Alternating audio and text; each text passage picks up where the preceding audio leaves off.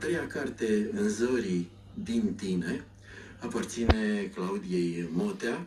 Este un volum de poezii scris în culorile curcubeului, cum foarte frumos uh, e trecut în uh, prefața volumului respectiv, dar o poezie din acest volum și câteva cuvinte despre el ni le va spune în continuare chiar Claudia Motea, Hristos a înviat.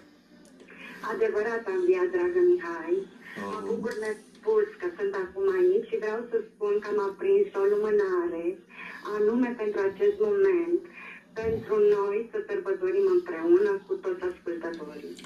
Îți mulțumesc Și din să te suflet. felicit pentru că această muzică am ascultat de la început uh, întreaga emisiune. Primăvara m-a copleșit pur și simplu, primăvara cu Tudor Gheorghe. Da. L-am ascultat și pe Ducu și sunteți doi oameni extraordinari, oameni cu litere mari, Mulțumesc. care, fără exagerare, aduceți parcă îngerii la noi acum și ne dați mai multă certitudine și speranță. Încercăm. Încercăm. Îți mulțumim mult. Uh, Claudia, în două cuvinte pentru cei care poate nu te cunosc, uh, la ce teatru te pot urmări, în ce piese... De obicei am proiecte independente, dar uh, uh, joc.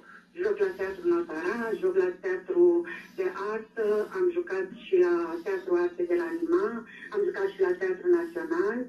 Uh, sunt și director uh, al uh, teatrului nostru, Teatru Afiliat Uniunii Diariștilor Profesioniști din România și sunt profesor de artă dramatică la Centrul Cultural Mihai Minescu. Am uh, cât de peste la un 100 de copii pe care, iar acum ceea ce este îmbucurător este faptul că fac cursuri online de actorie.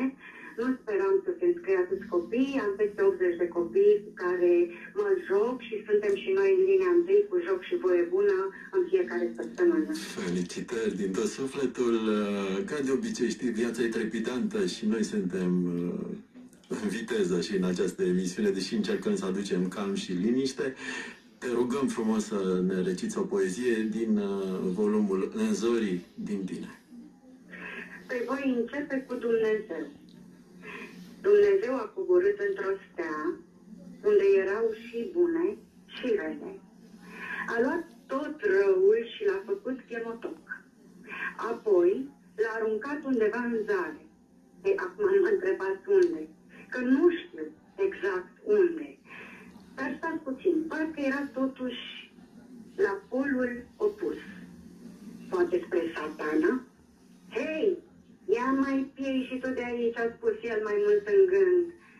Rău cu rău își găsește leacul. Cui cu cui se scoate, nu? Acum ce era cu binele?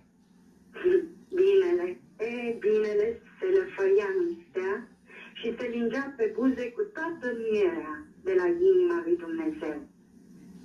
În acel moment, parcă, parcă nu mai auzeam nimic.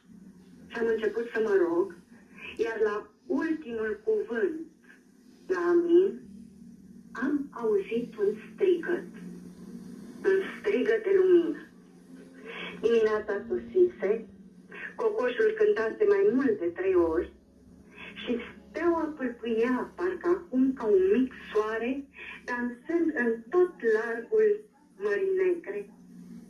Dumnezeu era pe poante, pe poante de aur.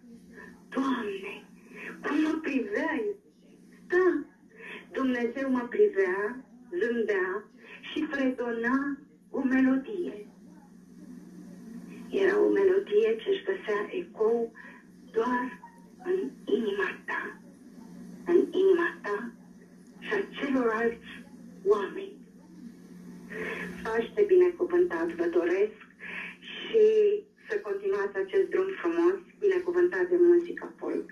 Și noi îți dorim inspirație și succes în rândul cititorilor, al spectatorilor. Mulțumim de tot zile cu multă sănătate în continuare, îți dorim.